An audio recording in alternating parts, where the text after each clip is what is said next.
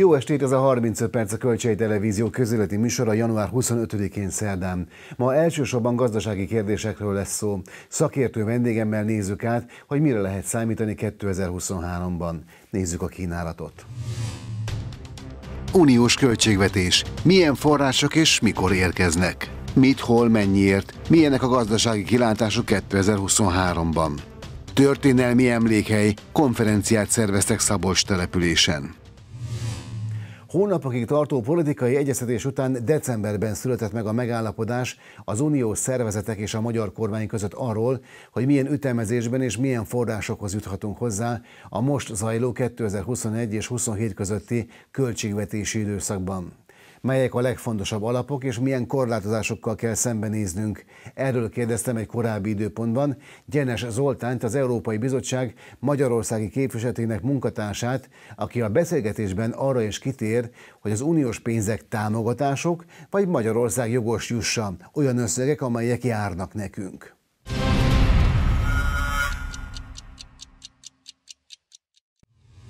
Ezek a strukturális források mondhatjuk talán azt is, hogy kohéziós politikai források, azok talán a számszerűleg a legfontosabbak.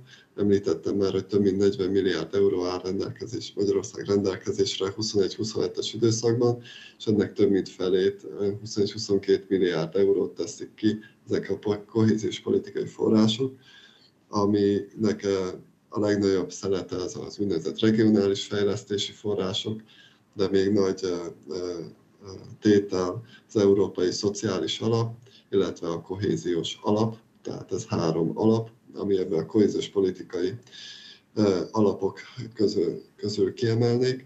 Ezen kívül fontos még fontosak a mezőgazdasági kifizetések, aminek két eleme az, amit kiemelnék, az egyik a az úgynevezett közvetlen kifizetések, sokszor ezeket leginkább a terület alapú kifizetésekkel azonosítják, illetve a másik pedig a vidékfejlesztési források. És akkor ezeken túl 21-27-es költségvetésben fontos, amit már említettem, és egy újdonság, ez a helyreállítási terv alapján Magyarország számára járó, mint egy 6 milliárd euró. És amit még kérdezett, hogy ebből mennyi az, ami még egy előző kérdésébe, hogy ez jár vagy nem jár, illetve hogy ez most egy visszanemtérítendő támogatása. Ezek összefüggő kérdések. Minden esetre azt szeretem mondani, hogy amikről most eddig beszéltünk, azok visszanemtérítendő támogatások. Ha globális fogalmakat használunk, akkor ezek makrogazdasági segély fogalma alá esnek, tehát olyan, olyan pénzek, ami ellen aminek nincsen ellentét elvárása a, a, azon féltől, aki ezt kapja. Hogy miért is kapja például Magyarország ezeket a, ezeket a forrásokat,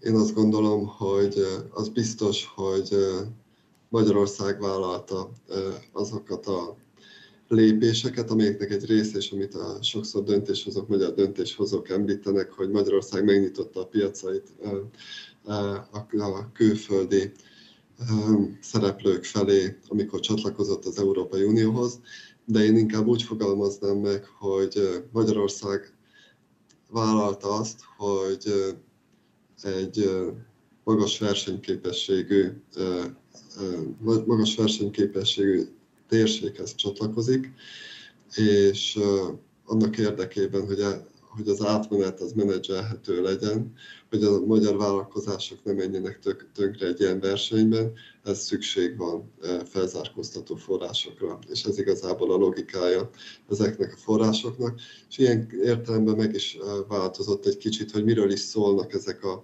források, mert ezek a kohéziós politikai források mindig is léteztek az Európai Unióban, tehát a 60-as, 70-es, 80-as években is, ahol még sehol nem volt Magyarország vagy a kelet-európai térség csatlakozása, és ezek már akkor is és most is tulajdonképpen régiókról szólnak, tehát elmaradott Franciaország vagy akár Svédország, Finnország elmaradott régióinak a támogatásáról szól, és Magyarország is egyébként úgy jut hozzá ezekhez a forrásokhoz, hogy a régióknak a fejlettségét nézik, és aztán amikor ezeknek a régióknak járó összes forrást adjuk össze, akkor kapjuk meg az úgynevezett országborítékot. Tehát ezeket Magyarország nem mint Magyarország kapja, hanem a régiók felzárkóztatásáért felelős tagország jut ezekhez hozzá. És még egy gondolat, hogy ezek, amikről beszélünk, ezek jellemzően, ahogy mondtam, visszanemtérítendő támogatások, de például a helyreállítási eszköz esetében egy nagyon komoly hitelforrás is Magyarország rendelkezésére áll, és, és állhat, amennyiben a magyar kormányzat úgy dönt, hogy ezt igénybe kívánja venni.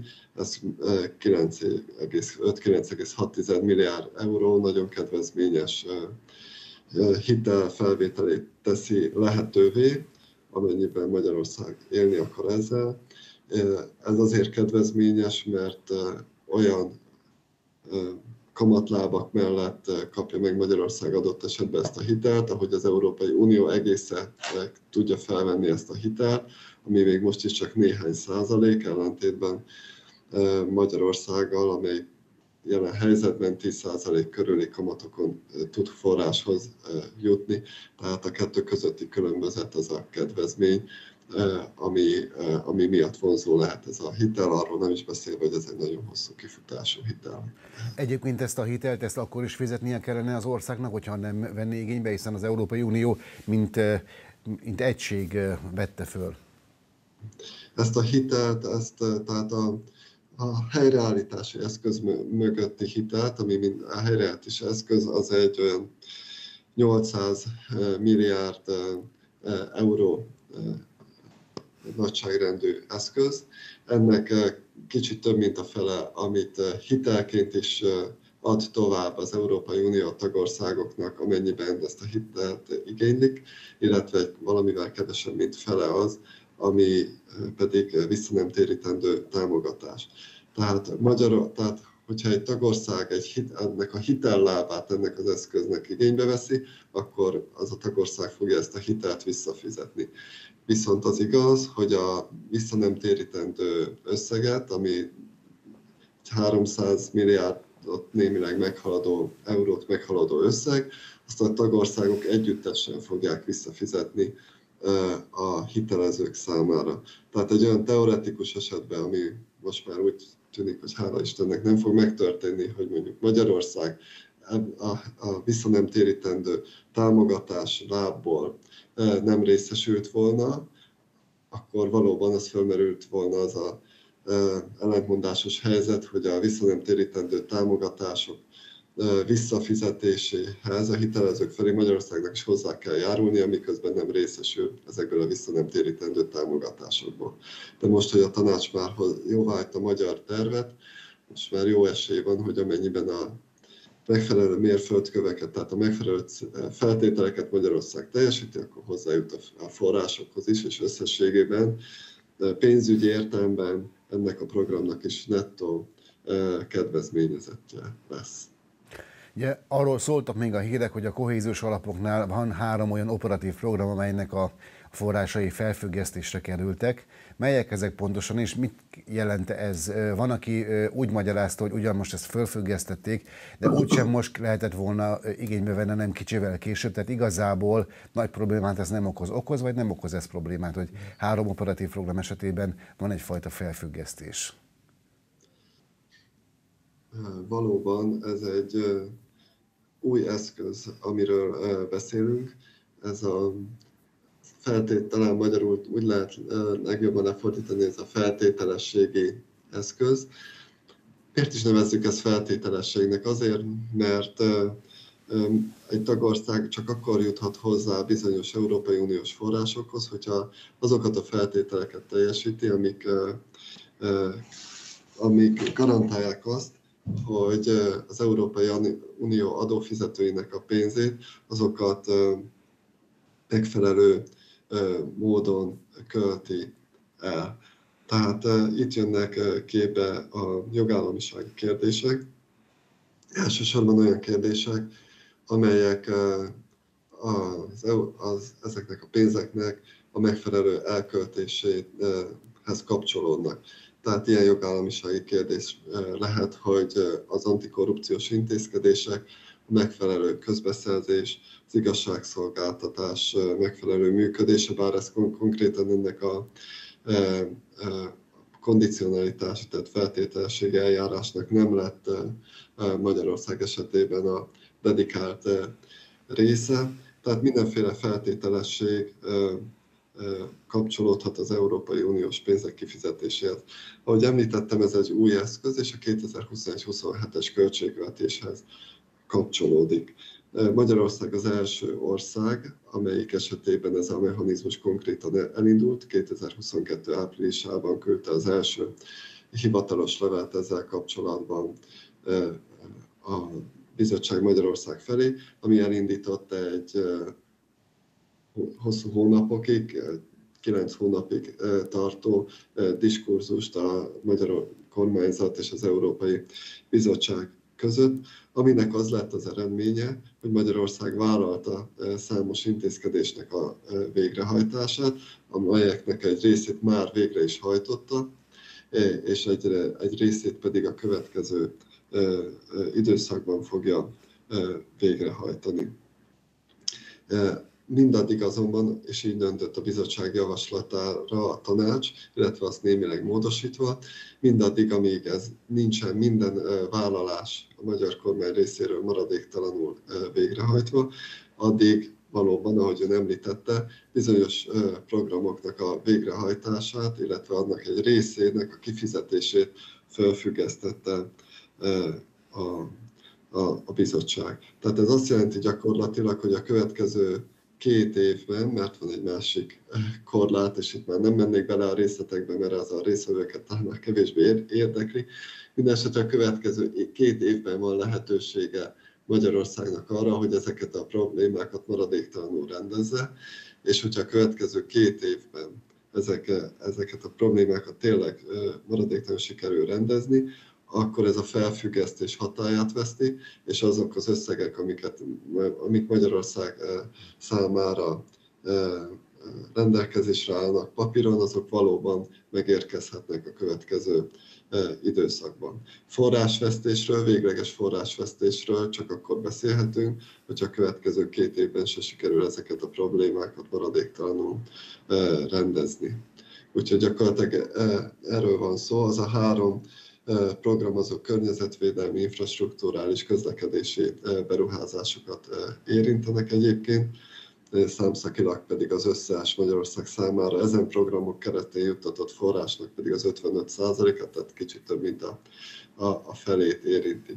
Hogyha valaki úgy érve, hogy ez gyakorlatban nem jelent problémát, akkor olyan értelemben igaza lehet, hogy amennyiben ezeket a problémákat tényleg a következő hónapokban vagy egy-két évben sikerül rendezni, akkor mire Magyarország oda jut, hogy ezeket a forrásokat valóban lehívná, maradékát, maradéktelen teljes egészében, addigra tulajdonképpen ezek a dolgok talán tényleg rendeződhetnek is.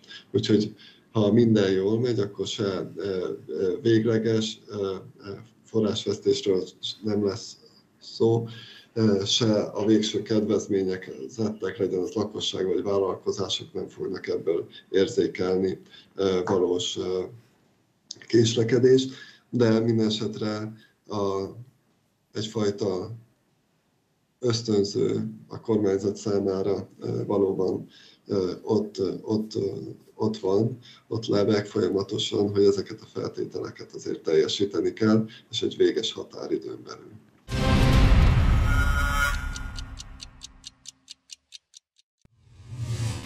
Ugyan minden évkezdet bizonytalan, 2023-ra ez a kijelentés különösen igaz, még tart az orosz-ukrán háború, nem tudni, hogy hogyan alakulnak majd az energiaárak, mekkora lesz az infláció, és megmaradnak-e a munkahelyek. Ezekre a kérdésekre is keressük a választ. Gerhes Miklós közgazdász, a jó estét kívánok, köszönöm szépen, hogy elfogadta a meghívást. Jó estét kívánok. Ugye beszéltünk már tavaly is sok mindenről, legfőképp energiáról, kezdjük most is ezzel. Azt lehet olvasni, hogy most mély ponton vannak az energiaárak, tehát viszonylag olcsóban lehet földgáz, kőolajat vásárolni. miért van ez, és mi várható ebben az évben? Maradnak az olcsó árak, vagy aztán majd visszamennek a, a tavalyi évben megszokott magas árakhoz? Hát azt ugye tudni kell, hogy a magyar energiakereskedők, főleg az MVM, úgynevezett csúcsó áras elszámolásban dolgozik, ami azt jelenti, hogy az elmúlt két hónap átlagát veszi figyelembe. Tehát a decemberi alacsony árak azok még nem jelentkeznek az ár kalkulációban. Mm, egyrészt, másrészt pedig a magyar tárolók, ha a gáznál maradunk, akkor Magyarországnak kb. 11 ezer 11 milliárd köbméter gázt tud tárolni, és ezeket a tárolókat nem csak Magyarország, hanem Európa összes országa feltöltötte, viszont magas áron töltötte fel. Az alacsonyabb árak azok majd most jelentkeznek. A fogyasztás pedig nem olyan nagy mértékű, hiszen jó az időjárás, nem nagy mértékben örülnek a tárolók. Ezért azt lehet mondani, hogy ha majd pótlásra kerül a sor, véleményem szerint egy olyan két hónap, két-három hónap múlva, főleg ha most hidegebb időjárás jön, akkor, akkor minden bizonyal lehet beszerezni, és remélhetően alacsony áron lehet ezeket a, a gáztárolókat e, pótolni. A legalacsonyabb árak nyáron vannak. E, nyáron sokszor a világpiaci ár feléért lehet tölteni a tárolókat, tehát szerencsés, hogyha május végén, júniusban kiürülnek a tárolók, és akkor mm, ki kell várni a megfelelő alkalmat, hogy gázzal feltöltsék. Tehát azt mondom, hogy a mostani tőzsdei alacsony árak azok, azok még nem annyira jelentkeznek majd a gáz árában. Sokan attól tartanak egyébként, hogy ugye az Európai Unió egyes tagállamai ugye azt döntötték, egyik szankció erről döntött, hogy már nem vásárolnak Oroszországból sem kőolajat, sem pedig földgázat. Hogy majd most, amikor majd március, április, május vagy a nyár folyamán újra kell tölteni, ott lesz gond, mert hogy az orosz nem fogják vásárolni, máshonnan keresnek, ez esetleg felhajthatja az árakat. Számít-e ön arra, hogy visszaemelkedik az ár? Ezek nagyon ravasz dolgok. A szankció körül azért nagyon sok huncutság kialakult. Például az atomerőművek fűtőanyagának pótlására szintén él a szankció, és Franciaország Indiától veszi a fűtőanyagot, és mit ad Isten, India pedig Oroszországtól. Tehát nem mondom, hogy általánosan ki lehet kerülni, de ilyen nagy tételeknél azt gondolom, hogy vannak kitérések. Másrészt pedig, ha nem lesz nagy a gázfogyasztás, akkor lehet mellőzni az orosz gázt. Nagyon sok ország ezt meg tudja tenni. Különösen azok az országok és nagy felhasználók, akik tengeri kikötővel rendelkeznek, mert cseppfolyós gázzal vagy Algériából ö, csővezetéken jön Franciaországba, Líbiából, ö, Olaszországba, tehát Európa összegészében nem fog ez nagy gondot okozni, ebbe biztos vagyok. Gondot okoz nekünk, magyaroknak, hiszen nincs tengeri kikötőnk, tehát mi cseppfolyós gázzal nem nagyon tudunk kereskedni, és nem tudunk vásárolni. Én azt gondolom, hogy a nyári időszakban lazul majd a, a nemzetközi kereskedelem, és a szankciók nem okoznak majd gondot. Viszont úgy látom, és a legfrissebb információk szerint sajnos a háború még ugyancsak dólni fog a nyári időszakban. Tehát akkor abban változásra nem nagyon Abba én számítani. azt gondolom, hogy nem. Senki nem mer előre tippelni, de elég sok nemzetközi tanulmányt olvastam, elég sok szakember véleményét hallgattam, akik azt jósolják, hogy ez bizony még el fog tartani, akár ebben az évben. Beszélünk egy másik fontos témáról, az inflációról, ami részben az energiából is a fakad, részben pedig ugye mindenki vásárol a boltokban élelmiszert, és ott, ott nagyon magas áremelkedéseket is lehet tapasztalni. Az ember már igazából nem is tudja követni, hogy mi mennyi, csak rácsodálkozik. Sőt, lassan ott tartunk, és az talán a legrosszabb, hogy az embernek a szeme kezdi megszokni azt, hogy mit tudom én, egy tízdekás vaj nem 300 forint, hanem 1000 forint. Igen. És akkor azon Igen. gondolkodunk, ugye, mint a régi viccben volt, hogy mi került ebben a fotelban, nem tudom mennyi forintba, hogy vajon hogy látja, maradnak ezek a magas árak, indokoltak-e ezek a magas árak, vagy van benne egy kis kereskedői logika is, hogy úgyse veszi észre a vásárló, akkor most mindent egy kicsit jobban emelnek. Hát ez is egy ravasz dolog, ezek a, a inflációra hivatkozó ár emelkedések. Ugye ritkán, a lakosság ritkán használja azt a kifejezést, hogy maginfláció. A maginfláció azt jelenti, hogy nem veszünk figyelembe olyan termékek árát, mint például a gázárát, ami, ami jelentős emelkedés jelent, hanem a szokásos, a, a, már ősidők óta forgalomba kerülő termékek árát nézzük, ez a maginfláció. És a maginfláció meg a mostani infláció között nincs nagy eltérés. Tehát ö, nyugodtan állíthatjuk, hogy nem a gázár meg az elektromos áram ö, emelkedése okozott alapvetően. Természetesen hozzájárult, sőt megnyomta de nem tér el egy százalékkal az infláció meg a maginfláció.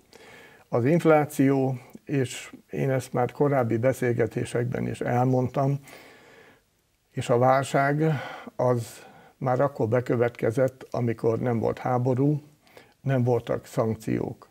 Tehát nem szabad erre fogni, hogy most a háború meg a szankciók miatt emelkednek az árak, és nő az infláció.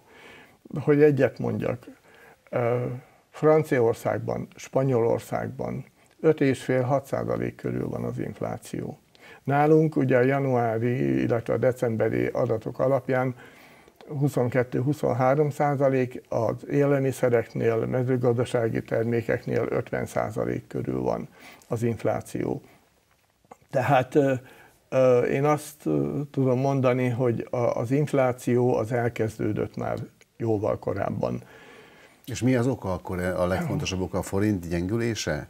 A forint gyengülése is nagy szerepet játszik, viszont ö, egyetemen ezt már ö, oktattuk régen, hogy a válság, és aminek a következménye például az infláció, az azért is bekövetkezik, hogyha a beruházások jelentősen növekednek, és a beruházások jelentős növekedését a fogyasztás nem olyan arányban követi. Tehát csökken a fogyasztás. És hát a mi esetünkben Magyarországon nagyon nagy beruházások voltak. Ami nem baj, csak azok a nagy beruházások, amire rengeteg pénz elment, rengeteg pénz kiment a forgalomba ezzel, azokat a fogyasztás nem követi, illetve majd idővel, amikor ezek a beruházások, hiszen óriási beruházások vannak most is folyamatban, amire megy ki a pénz, viszont ezek a beruházások majd pénzt idővel hoznak, két év múlva, három év múlva, attól függ, milyen időtartamú. Tehát alapvetően a nagy probléma az, hogy a fogyasztás és a beruházások összhangja az felbomlott. Sok, szokták mondani, hogy, a, hogy az élelmiszereknél is vannak hatósági árral védett élelmiszerek, hogyha ezeket ugye eltörölnék, mint ahogy az üzemanyagoknál elmenne, akkor az is valamit rendezne a piacon, bár azt is tudni kell, hogy nagyon sok család, nagyon sok embernek nagyon fontos, hogy ezeken az alapvető élelmiszereken van ilyen hatósági ár, hiszen lehet, hogy a piaci áron nem tudná, vagy nem annyit tudna belőle vásárolni. Ez így van. Mi lehet itt a megoldás? Fokozatosan, szépen lassan? Mit lehetne ezzel tenni? Hát hogy... ugye szakértők egyértelműen mondják, hogy az ársapka az nem egy szerencsés dolog. Én azt mondom, hogy a piaci műveletekbe az államnak beavatkozni soha nem szerencsés esemény volt, amikor az állam beavatkozott a piaci dolgokba. Nem tartható hosszabb távon az, hogy ezek az ársapkák működjenek, hiszen a, ugye mindig mondjuk az államnak az egyik zsebéből megy a pénz a másik zsebébe vagy most inkább azt mondjuk, egyik zsebéből megy ki, és megy ki teljes egészében. Tehát akkor, amikor a lakosságnak kedvező ez a dolog, akkor itt az állam meg a kiskereskedők finanszírozzák ezeket a helyzeteket, és ezeket bizony folyamatosan ki kell léptetni, ez nem lehet vita tárgya. Meg is teszi az állam, hogy ezeket az ásapkákat kezdi lebontani, bár most újabbakat beléptetett, de nem ez lehet majd a megoldás. A megoldás az lehet, hogyha a gazdaság teljesítménye, a hatékonysága növekedni fog, jelentősen nő a foglalkoztatottság, tehát a lakosság zsebébe is több pénz kerül, akkor ez megoldás lehet, de jelen helyzetben ez, ez egy hosszú folyamat lesz. Úgyhogy a ásapkás dolgok pedig felvetnek egy olyan helyzetet is, hogy ez az inflációt gerjeszti. Hiszen el fognak tűnni magyar termékek a piacról, például a burgonya. A Magyarország burgonya termelésének a készlete olyan március végéig elegendő. És ekkor belép az, hogy minden valószínűség szerint Lengyelországból hozunk be majd burgonyát, a lengyelek viszont nem fogják adni olcsón. Tehát a kereskedő piaci áron kell, hogy megvegye. És ha működik az ársapka, akkor ezt a kereskedő fogja lenyelni. Ugyanúgy, mint a benzinnél. Ami azt jelenti, hogy, és már ö, tanúi vagyunk annak, hogy egyre több kiskereskedő dobja be a törölközőt. Egyre több kisbolt zár be, vagy nem tart bizonyos termékeket, mert, mert gazdaságtalan, és neki kell finanszírozni a veszteséget. Úgyhogy hát én azt hiszem, hogy ez az év rámegy arra, hogy a, a ásapkás termékeket kivezetik, hát ezek a kényszerhelyzetek fogják majd hozni. Meglátjuk, milyen lesz az év. Köszönöm szépen, hogy eljött hozzánk, és a gondolatait megosztotta, számítunk a szakértelmére későbbiekben is. Köszönöm a Köszönöm. meghívást én is. Történelmi emlékhely lesz Szabolcs település. Ott tartott Szent László király 1092. májusában egyházi zsinatot méltó módon ünnepelnének a településen, mert van mit megmutatni. A történelmi múltról szerveztek konferenciát Szabolcson, amelyen Karab Zoltán kollégám is részt vett. Szabolcs község. A 11. században az ország közepe volt, az 1960-as évek végén viszont már alig tudták, hogy létezik ilyen település. Erről számolt be német Péter régész, aki az 1960-as évek végén kezdte el a földvár feltárását végző terepmunkát. Mert amikor megkérdezték tőlem, hogy hol dolgozom, mondtam, hogy Szabolcsba. Erre a következő kérdés az volt, na jó, de pontosan hol? Tehát annyira ismeretlen volt, még az itteniek, a megyebeliek körébe is ennek a falunak a híre. Sipos László jogtörténészként kutatta az 1092-es Szabolcsi zsinaton megszületett törvénykönyvet, amely Szent László első törvénykönyve volt. Sipos László azt mondta, a törvénykönyv nem csupán mérföldkő a magyar jogtörténetben, hanem olyan dokumentum, amely betekintést enged a 11. századi magyarok gondolkodásába. Ez egy rendkívül izgalmas törvénykönyv, amelyik évszázadokra meghatározta a magyar jog fejlődési irányát, és és amelyik betekintést enged a tényállások, a szankciók révén abba is, hogy, hogy milyen problémákkal szembesült a 11. század végén a magyar társadalom. Köthettek-e házasságot a papok? Mi volt a már megkötött házasságok sorsa, hogyan rendezte az állam egyház viszonyát, az adók beszedésének rendjét, vagy adott esetben a kívülről érkezettek jogait. Milyen volt az akkori perjog, hogyan kellett kikutatni, bebizonyítani adott esetben egy házasságtörés megtörténtét. Én azt gondolom, hogy ez a törvénykönyv messze túlmutat önmaga jelentőségén, társadalmi, történelmi szempontból is értékelendő. A Szabolcsi Református Látogató Központban tartott konferencia célja is pontosan ez volt, amelyen régészek és történészek különböző szempontok mentén mutatták be Szabolcsot, mint történelmi emlékhelyet, nem csak szóban, de egy frissen megjelent tanulmánykötetben is. Azt gondolom, hogy nagyon fontos az, hogy az itt meglévő értékeket, azokat minél több ember számára be tudja mutatni a megye, és ezek között az értékek között én azt gondolom, hogy nem mindig a legelismertebb, legmegbecsültebb helyén van a Szabolcsi földvár és környezete. Én remélem, hogy ez a rendezvény abban is segít, eh, hogy ezt tudjuk emelni, és minél inkább a legszélesebb köztudatban is benne legyen, hogy igenis itt eh, van egy olyan eh, kultikus történelmi emlékhely, amit nem csak hogy érdemes róla tudni, de érdemes meglátogatni is. Vinnai Győző, a térség országgyűlési képviselője azt mondta, tíz éve indult el a kezdeményezés, hogy a Szabolcsi Református templomot és a Földvárat történelmi emlékhelyé nyilvánítsák. Szabolcs-Szatmár-Bereg vármegyében ugyanis eddig három ilyen emlékhely volt, a Szatmár-Csekei Kölcsei Kúria,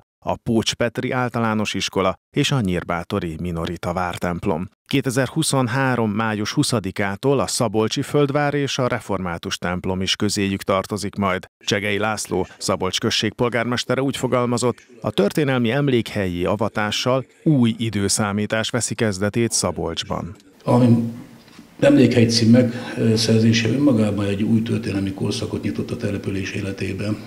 Ez egy új időszámítás, ami most következik, nekünk erre fel kell készülni, úgy gondolom, hiszen működtetni kell, programok kellenek, tematikus programok kellenek, és erre mi készülünk is, és a nyár folyamán főleg a diákokra alapozva próbálunk tematikus táborokra szervezésébe gondolkodni. Az eseményen Fekete Károly püspök hangsúlyozta, hogy az erős vára mi Istenünk kezdetű Zsoltár képei Szabolcsban egy térben testesülnek meg, várként és templomként egymás mellett van a templom és a vár.